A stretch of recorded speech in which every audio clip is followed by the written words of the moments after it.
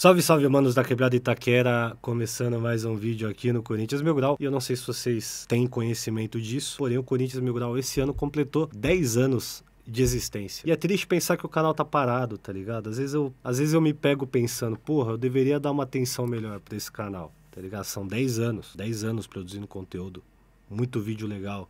Viagem pro deserto, Guerra do Maracanã, Venezuela, Paraguai, Colômbia, tá ligado? Coisas muito fodas que aconteceram nesse canal aí. E depois aconteceram coisas fodas também, eu acabei não colocando aqui no canal. Né, muitos jogos legais que aconteceram aí, jogos emblemáticos para nossa torcida que também não não estiveram aqui no canal, mas eu estava lá presente em espírito, estava ali presente nas partidas, o que é uma parada que também muita gente não entende, né? Que o pessoal às vezes comenta, pô, o Mil Grau largou o Corinthians. O Mil Grau abandonou o Corinthians. Só porque eu não posto mais vídeo no, no Corinthians Mil Grau, tá ligado? E aí o, cara, o mesmo cara que fala, pô, o Mil Grau largou o Corinthians. Aí ele me encontra no estádio na semana que vem e não entende nada. Eu fiquei um tempo sem postar vídeo. Isso é um fato desde 2018.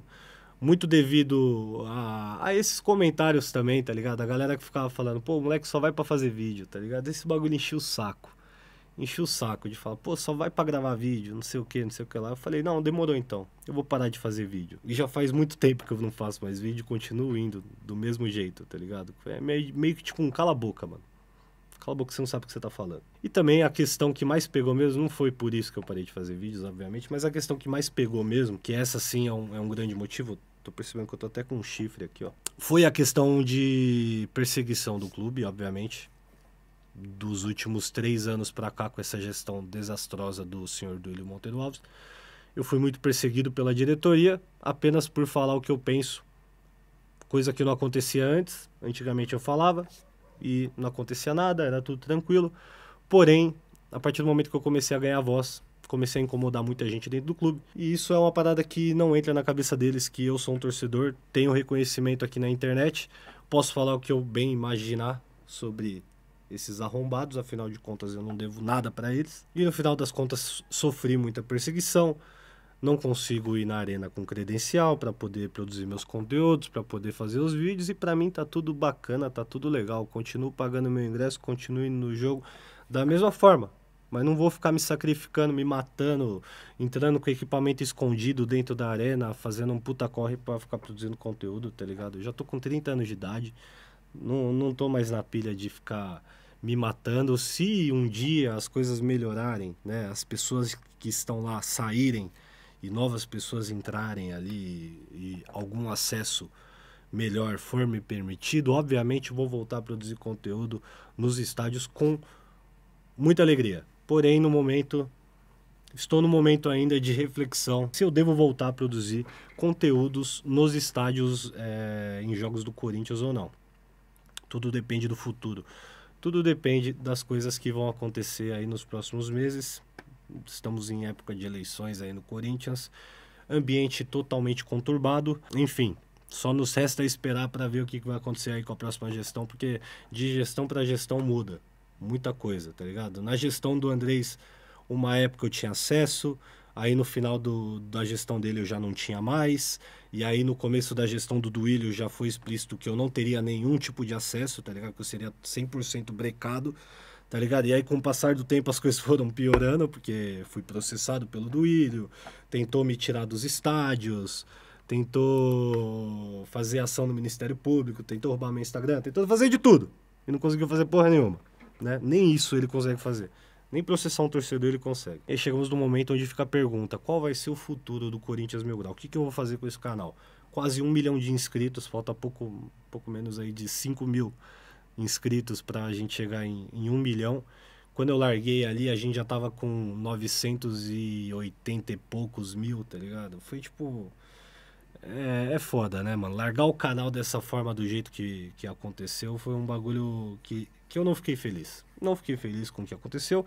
Acredito que vocês também que gostavam do conteúdo também não gostaram do que aconteceu, porém agora com um pouquinho mais de calma, a gente trabalhando aqui conseguiu estruturar o Corinthians Mil Grau para ele poder voltar e ter vida. Então a fita é a seguinte, nesse ano de 2023 a gente volta com os conteúdos. É, para quem não sabe, eu tenho uma parceria com a Betano. Inclusive é uma parada que eu já disse nas lives que eu estou fazendo lá na plataforma rival, na Twitch, que é Durinho de Matar 777. Tá aparecendo na tela aí o, o link para você poder digitar lá na, no seu navegador ou no seu celular e me seguir lá na Twitch. Todos os dias está rolando live. Inclusive isso entra também no, no conteúdo que vai ser criado aqui no canal. Vai ter uma explicação um pouquinho mais para frente. Muito bem, na Twitch eu já tinha avisado que, para quem não sabe, eu tenho o patrocínio da Betano, a casa de apostas, e a Betano também tem alguns clubes e tem campeonatos fora do Brasil patrocinados por ela, e eu fui convidado por eles para poder produzir um conteúdo sobre torcidas gringas, sobre os ultras, sobre os torcedores organizados da gringa. Então, nesse mês de novembro, teremos a volta do Corinthians Mil Grau, porém, não vai ser um conteúdo relacionado ao Corinthians, vai ser um conteúdo relacionado a torcidas. Eu pensei em criar um canal novo, pensei em começar do zero, pensei em só soltar no Instagram, mas como a gente está com um canal parado aqui, eu vou produzir esse conteúdo para o YouTube e o ouro desse conteúdo todo vai ser postado aqui no Corinthians Belgrau. Então a Betano tem algumas equipes na Bulgária, na Sérvia, na Grécia, no Chipre. E eu não sei se vocês já deram uma olhada nas torcidas desses lugares aí, mas o bagulho é louco. O bagulho poca. Então no mês que vem aí, no mês de novembro, teremos conteúdo aqui no Corinthians Mil Grau, diretamente da Europa, acompanhando alguns jogos e algumas torcidas. Vão ser uma série de vídeos acompanhando esses jogos aí, essas torcidas. Vai ter também conteúdo no Instagram. E todo esse conteúdo vai ser transmitido ao vivo pela Twitch. No momento que eu estiver produzindo esses conteúdos, eu vou estar fazendo uma live de IRL mostrando para vocês todos os bastidores. Então eu devo ficar mais ou menos um mês e meio, dois meses, mais tardar três meses na Europa, produzindo conteúdo. E todo dia, a partir do momento que eu acordar, eu vou ligar uma câmera que vai ficar no meu peito eu comprei uma câmerazinha pequena que se acopla aqui. E a partir daí você vai seguir o meu dia a dia diretamente na Twitch. Teremos live de IRL. Então, no momento que eu estiver indo pro jogo, no momento que eu for entrevistar um Ultra, no momento que eu for almoçar, fazer qualquer coisa, eu vou estar tá transmitindo ao vivo, basicamente em real time, ali na Twitch. Então, me sigam na Twitch, que vai ter muito conteúdo da hora lá. E continuem acompanhando aqui o Corinthians Mil Grau. Dá uma renovada no sininho aí, porque deve estar tá meio enferrujado, né? Faz tempo que eu não posto vídeo. Dá uma renovada no sininho aí, que em breve voltaremos com, com vídeos aqui no Corinthians Mil Grau no mês de novembro. E no ano que vem a gente espera que as coisas melhorem para que a gente possa produzir conteúdo relacionado ao Corinthians com um pouquinho mais de tranquilidade. Tá ligado? Que eu cansei de brigar também, entendeu? E na minha cabeça, se eu não posso mais produzir algum tipo de conteúdo relacionado ao Corinthians, para mim tudo bem. Tem muita coisa legal aí que eu produzo também por fora, tá ligado? Vou continuar nos jogos do Corinthians, porém quando chega uma oportunidade para você ir para Europa, para países como Grécia, Chipre, Romênia, Bulgária, Sérvia, pegar uma vivência incrível de futebol e trabalhando e recebendo para isso é, é, inacreditável, tá ligado? É viver o sonho. Então no próximo mês de novembro aí teremos esse rolê. Eu ainda estou tentando incluir Turquia nesse rolê.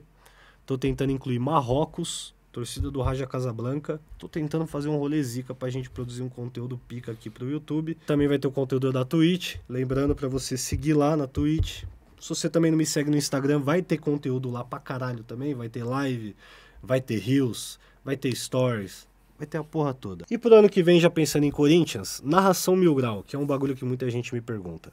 Narração mil grau, vai voltar ou não vai? Antigamente eu ficava meio pilhado porque a narração mil grau ela cortava a monetização e dava aviso de direitos autorais. Eu não sabia o quanto isso podia impactar no meu canal, tá ligado? O problema na real não era nem de monetização, porque as primeiras horas os vídeos até ficavam monetizados e as primeiras horas são as que importam. Então, querendo ou não, ainda conseguia monetizar os vídeos. Mas eu ficava pilhado com a parada do, do aviso de direitos autorais. Então, eu vou dar uma estudada na lei, o que pode ser feito, o que não pode ser feito.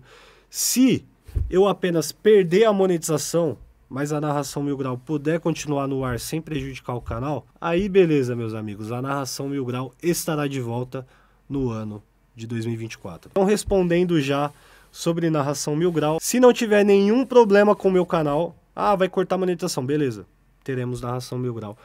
Sem nenhum tipo de problema, até porque é um conteúdo que eu faço em 15 minutos aqui na frente do computador, tá bom? Sobre os blogs, eu tenho dois caminhos para seguir. Um caminho onde eu vou apenas com uma câmerazinha tosca, igual eu fazia antigamente, só com a GoPro, ou produzir o conteúdo de qualidade que era o que eu estava querendo fazer e é o que eu já estava fazendo.